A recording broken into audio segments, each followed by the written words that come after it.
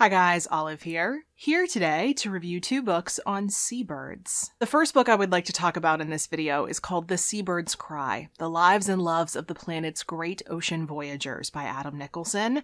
This book was first published in the UK back in 2017, but it was published here in the US in 2018 by Henry Holt, which is a division of Macmillan. And my hardcover copy that I purchased with my own money comes in at 416 pages. Adam Nicolson is a pretty prolific English author, and he comes from from a long line of writers and gardeners, actually. I thought that was kind of interesting because he does focus on a wide variety of topics in his books. But I've noticed that he tends to focus on history and also the natural world, which would make sense if he has a long line of gardeners in his family history. This book is one of his more recent books. He has published some other books since this book came out, but this one is all about the lives of seabirds, about a number of different seabirds. It's a glimpse into what their lives are like it's a little window into what we currently know about them. And it's also a larger discussion about how we as humans have connected with these birds over the centuries. And this book actually won the 2018 Wainwright Prize for Nature Writing. In this book, Nicolson chooses to focus on 10 individual birds or groups of birds.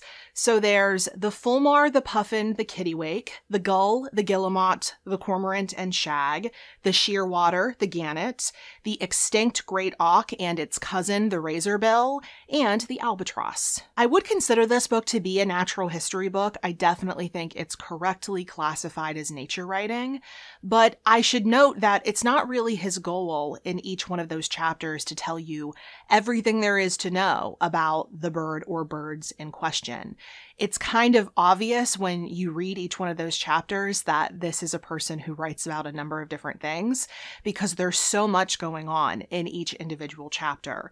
He'll include science about the bird in question. He'll talk about research that's currently being done or has previously been done and what we've learned from that research, what we know about the lives of these birds. He will sometimes talk about his own personal experiences with these birds, but much more frequently, he's talking about the human history with that bird, whether or not we've killed it for food or for sport, if that bird has any kind of cultural significance.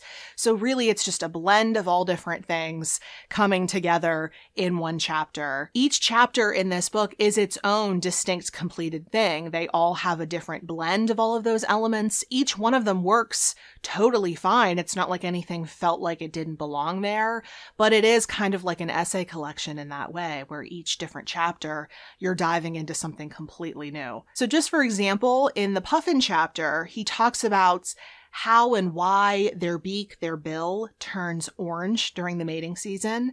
But then he also talks about how each individual puffin, when the breeding season is over, they decide to follow their own unique path out into the ocean. They go to different places and they most frequently will go where they went last year if there was food there. So they're individuals and they remember where they like to spend time, which is fascinating to me.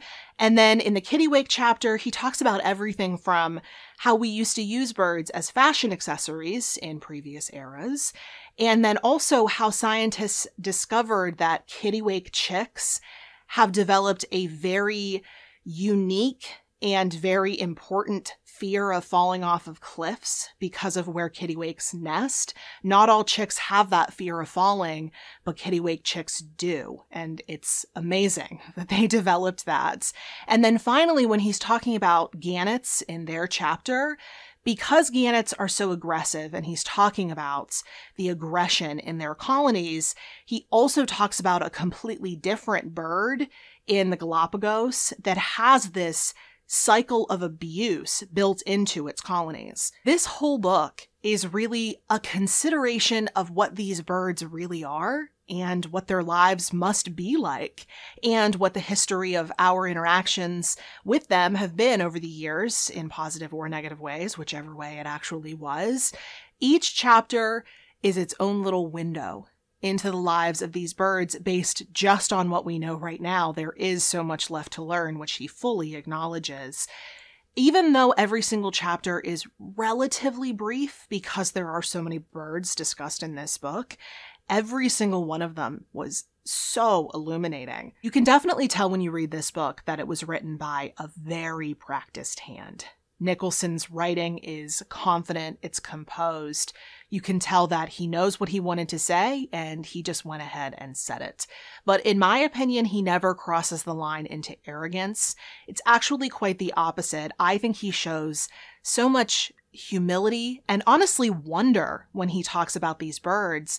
He never loses sight of the fact that he is an observer and that as much as he loves these birds, he respects them, he tries to understand, he knows he never fully will. He's also very sympathetic and kind toward the birds in this book.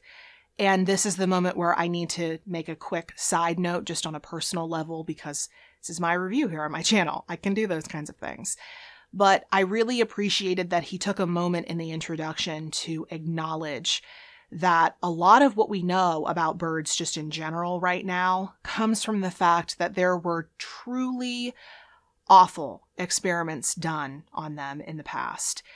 He acknowledges that those were torturous while also acknowledging that he's a benefactor of the knowledge gleaned from those experiments. I think we can all accept that we know more now about birds because those experiments were done, but we can at least call them what they are, which is torture. But anyway, let me just say that I really, really enjoyed this book. I learned so much from reading this book. I learned so much about each individual bird, some of which I had not even heard the names of before. I love birds, but I'm not quite on that level. Maybe someday I will be. But I was introduced to so many new bird species by picking this book up.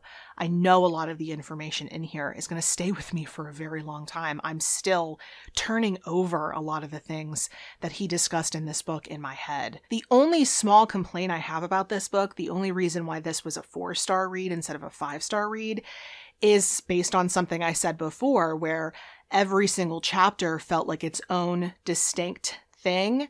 And in that way, I found the whole book kind of meandering, not within the chapters. I thought each one of them was so composed and thought through, but there wasn't really a through line. There wasn't really like a common point that he was trying to make with each individual chapter. It was just kind of, okay, here's this chapter, then here's this chapter, here's this chapter. I didn't really know what the common message, like what do you want me to understand once I have closed the back cover of the book. I think if I had gone into this book knowing that it read more like an essay collection though, that it wouldn't have bothered me as much because I was expecting there ultimately to be a grander point that he was trying to make and it never came.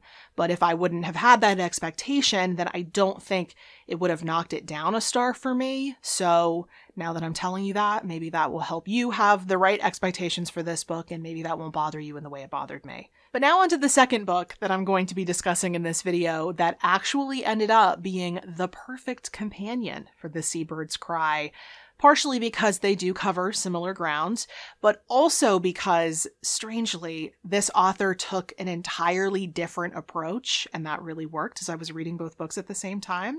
But that book is called Shearwater A Bird, an Ocean, and a Long Way Home by Roger Morgan Grenville. This book was published in 2021 by Icon Books, and my hardcover copy that I received from the publisher for reviewing purposes comes in at 305 pages. Roger Morgan Grenville is a former soldier. He's also the author of several different books, and this newest book of his is actually his second nature writing book to come out in the more recent past. Just last year, he released a different book with Icon Books called Liquid Gold, which was all about his experiences with beekeeping. It was highly entertaining. Icon Books also sent me that one. Very grateful. I loved it. So when they reached out to me and said that he had another book coming out this year and this one was about birds, I definitely wanted to read it. This book covers a bird that's discussed in The Seabird's Cry. It's a type of shearwater called the Manx shearwater. And that's one of the reasons why I said that this new book by Roger Morgan Grenville made such a good companion book to read at the same time as I was reading The Seabird's Cry. I was reading them at the exact same time because The Seabird's Cry talks about a number of different birds, including the shearwater, And this new book, Shearwater, talks about just the shearwater.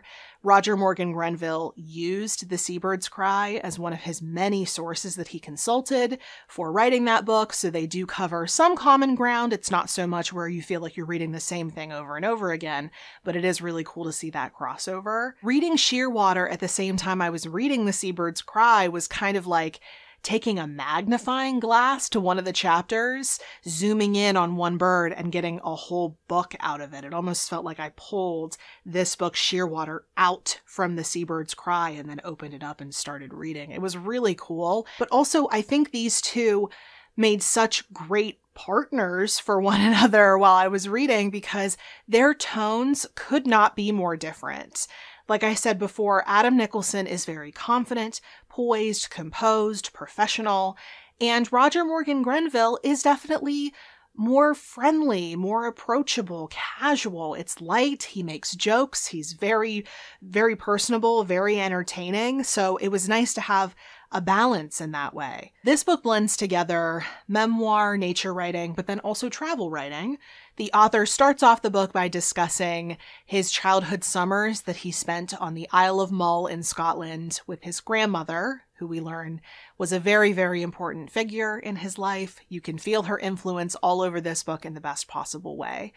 But he then decides, as a grown man in his later life, that he wants to follow the Manx shearwater, a bird that he's always been fascinated by. He wants to follow them from their breeding grounds to where they fly afterward, thousands of miles away. First of all, let me just say, these are incredible creatures. I can see why he's so fascinated by them. You definitely learn a lot about them in this book. It's definitely much more comprehensive than any of the chapters in The Seabird's Cry. He's just focusing on one bird so he can tell you pretty much everything there is to know about them based off of what we know right now. I'm sure we'll know more in the future. But they're just incredible. First of all, this family of birds is called shearwaters because of the way that they fly. They will fly on their side, and their bottom wing just slices through the water, hence shearwater, which is actually a super cool name now that I know where it comes from. But they take these incredibly long journeys. I think he said that each individual shearwater will travel millions, like several millions of miles in their lifetime. That's just amazing. And the way that they know where they're going, their navigational abilities, it's different for seabirds than it is for other types of birds. They use their sense of smell. So the basic timeline of this book is that Roger Morgan Grenville initially introduces himself, his love of these birds, and also his connection with his grandmother. Then he makes a choice that he wants to follow them after they leave the breeding grounds. And then he starts his journey, which starts on Skomer Island in Wales, where these birds nest. They actually nest in burrows in the ground that they've dug or that rabbits have dug previously and they've just kind of taken over. He tags along with a scientific team who are studying these birds, and he tags with his own hands one specific baby. And that's the baby that he kind of thinks of as this process goes along, that it's his Manxie, if you will. So then after that, he travels down to Patagonia in the hopes of seeing not necessarily his Manxie, the one he tagged, but to see them in general. So this book in its entirety is made up of memories from Roger Morgan Grenville's life he talks about his travel adventures, specifically in South America, of trying to see these birds. And then also, it has a lot of scientific information about the shearwater, like I said before. But sometimes that information takes the form of these really nice, really touching interludes where he more or less tries to put himself into the perspective of that Manx shearwater that he personally tagged. And those sections, of course, include a little bit of anthropomorphism. That's unavoidable. Anytime a human tries to explain the perspective of an animal, there's going to be some of that because we only have our own frame of reference. We can't truly know what it's like for that animal. But that fact being understood, those moments where he's taking the perspective of the bird are my favorite moments in this book. I thought they were so touching and I thought they revealed so much about how much Roger Morgan Grenville admires and respects these birds, what they go through, the obstacles they have to overcome, and then eventually the distances that they achieve. But out of all the pieces that made up the book, I think the one I liked the least was the travel writing. I don't think there was enough going on in each of those travel stories to warrant giving so much space over to those sections within the book. Like the way he introduced this journey at the beginning of the book, it was like this huge, I'm going to follow these Manx shearwaters wherever they go for an entire year. I kind of expected it to be a little bit more than taking a flight down to Argentina and then having struggle after struggle trying to see the birds. But I did really enjoy this book, and I do maintain that I loved especially reading it at the exact same time I was reading The Seabird's Cry. Normally, in these dual review videos that I do, by the end of the review, I'm either recommending one book over the other. Sometimes I'll recommend that you read one before the other because I think one will inform your reading experience of the other one. This will be the rare occasion where I highly recommend, if you're interested in both of these books, that you read them at the exact same time. I think it has the potential to enrich your experience in the same way that it did mine. They definitely balance each other out. One's more formal, one's more casual, one's more almost philosophical, the other one's more personal. It's about personal connections to the birds. And yet they do cover very similar ground. I just, I think they are so meant for one another. And if you want to read both and you can handle reading both at the exact same time, I can't recommend it enough. So those were my feelings on these two books on seabirds. If you have read either or both, or are interested in either or both, please do let me know in the comment section below. But if you would like to keep up with what I'm reading and writing about right now, right in this moment that you're watching this video, you can find me on a variety of different places around the internet, including Goodreads and Instagram, the two places I'm the most active. The links to those two profiles, as well as everywhere else you can find me, will be in the description box below below. Also, in the description box below, there will be a section that I like to call the further reading section, where I will list out some titles that I think you might be interested in if you liked either or both of these books. Thank you so much for watching. I hope you're having a wonderful day. I will see you in the next video. Bye.